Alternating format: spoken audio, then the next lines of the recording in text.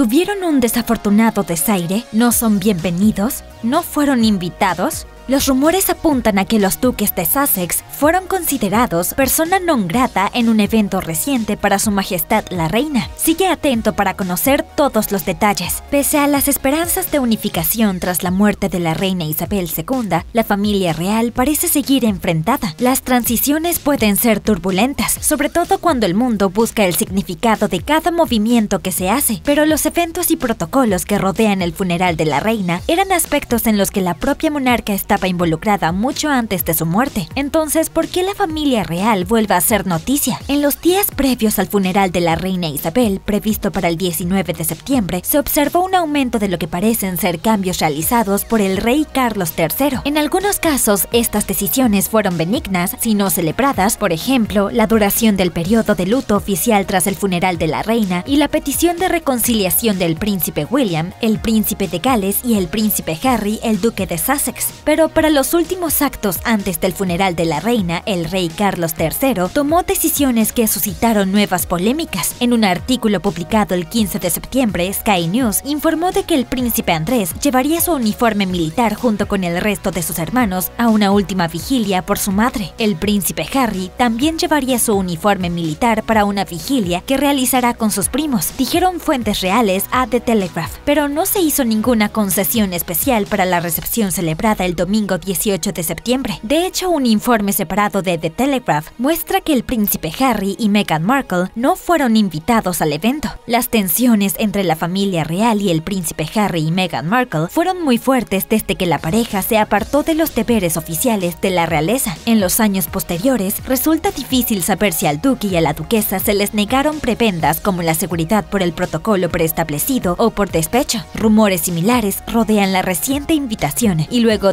desinvitación de Harry y Meghan a un evento el domingo 18 de septiembre. Según Metro News, la recepción fue para la realeza extranjera y los líderes mundiales con la asistencia del presidente de Estados Unidos, Joe Biden, el presidente francés, Emmanuel Macron y la primera dama ucraniana, Olena Zelenska. Metro News añadió, se cree que es una de las mayores reuniones de dignatarios y jefes de Estado de la posguerra. Las fuentes dijeron a Newsweek que la confusión fue un auténtico error y que solo los miembros activos de la familia real debían asistir a la recepción. Como explicó iNews, los miembros de la realeza en activo son extensiones de la corona y representan al monarca en los compromisos oficiales. También pueden, entre otras cosas, realizar tareas en nombre del monarca, como giras al extranjero, organizar cenas de Estado y asistir a reuniones con dignatarios internacionales. Sería el equivalente a que te inviten a un acto por el trabajo que dejaste el año pasado, solo que en este caso se superponen los negocios y la familia. Según The Telegraph, fuentes cercanas al príncipe Harry y Meghan Markle, el duque y la duquesa de Sussex, están desconcertados por el revuelo de los eventos, a pesar de que los ayudantes de palacio insistieron en que el duque y la duquesa de Sussex no fueron invitados y no se esperaba que aparecieran. El comunicado original emitido por el Palacio de Buckingham no especificaba qué miembros de la familia real asistirían a la recepción de alto nivel, aunque muchos supusieron que se esperaría a los miembros activos de la familia, dada la naturaleza diplomática del evento, según Tatler. Un seguidor de la realeza tuiteó en respuesta a la noticia, ¿por qué hay miembros de la realeza activos y no activos en este tiempo? Señalando que no solo son todos técnicamente de la realeza, sino que esto complica las cosas y solo plantea un montón de preguntas sobre estos protocolos y su necesidad, pero hay otros que creen que esto no es más que otra maniobra de relaciones públicas. Un crítico teorizó, la falsa información de estar sin invitación fue puesta por el príncipe Harry y Meghan por despecho, con muchos señalando al biógrafo real, Omid Scobie, que comenzó el rumor. En una actualización del sábado 17 de septiembre, Scobie tuiteó, un portavoz de Palacio reiteró esta mañana que la recepción de Estado del domingo es solo para miembros de la realeza en activo, añadiendo que creía que esto significaba que los duques de Sussex fueran aparentemente no invitados.